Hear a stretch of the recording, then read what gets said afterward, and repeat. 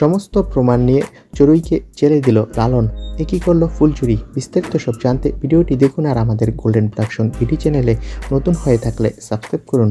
বর্তমানে আমরা তুলকোনা ধারাবাহিকের আগামী পর্বে দেখতে পাই। লালন ফুলচুরিকে বলে, যে যাই বলুক, আমি বিশ্বাস করি না তুমি মিনি দিদির কোনো ক্ষতি করতে পারো। আমি বিশ্বাস করি তুমি একজন ভালো মেয়ে।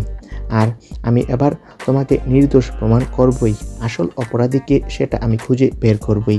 আর লালনের এসব কথা শুনে একটু আশ্বাস ফিরে পায় ফুলচুরি আর নিজে একটু শক্ত হয়। তবে বন্ধুরা, এবার আসল অপরাধীকে খুঁজে বের করবে লালন। তারপর আসল অপরাধী চড়ুই ও তার বন্ধু বান্ধবের নাম বলে দিবে। তারপর ওই গুন্ডাটিকে বাড়ির সকলের সামনে হাজির করবে লালন। আর সেই সময় পুলিশ থাকবে। তারপর বাড়ির সকলে সব কিছু জেনে চড়ুইকে জেলে দিবে। তো বন্ধুরা, কে কে খুশি? এবার লালন গুন্ডাটিকে পুলিশে দিবে বলে কমেন্টে জানান আপনাদের মতামতটি। আর ভিডিওটি ভালো লাগলে একটি লাইক দিন, ধন্যবাদ।